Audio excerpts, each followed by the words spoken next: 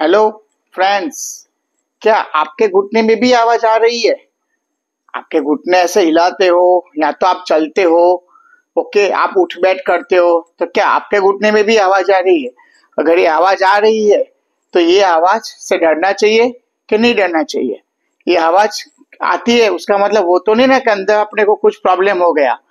तो इसका आंसर ये है, उसका जवाब ये है कि अगर आपके घुटने में ऐसे हिलाने में या चलने में, उठने बैठने में, सीढ़िया चढ़ने, उतरने में आपको कोई भी आवाज़ आती है तो आप समझ लेना है कि अगर वो आवाज़, सिर्फ़ आवाज़ ही आती है और कुछ दर्द नहीं है तो वो 90 परसेंट केसेस में वो नॉर्मल किया जाता है। तो वो नॉर्मल क्यों है? तो आवाज़ क्यों आती है? वो आवाज़ आती है एक्चुअली अपने जॉइंट के अंदर एयर बबल्स बोलते हैं, पानी भरे बबल्स होते हैं। जॉइंट्स के अंदर। पानी होता है, उसमें बबल्स होते हैं जो एयर के बबल होते हैं, हवा भरे बबल होते हैं। तो वो असली जॉइंट की मूवमेंट के साथ साथ वो फूटते हैं।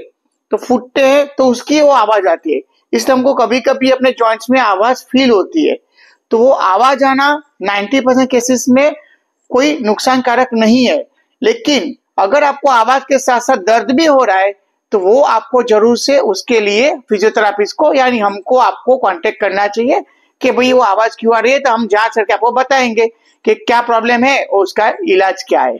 ठीक है? तो आप आवाज़ से डरना मत फिजियोथेरापी से कॉन्टेक्ट करना। Thank you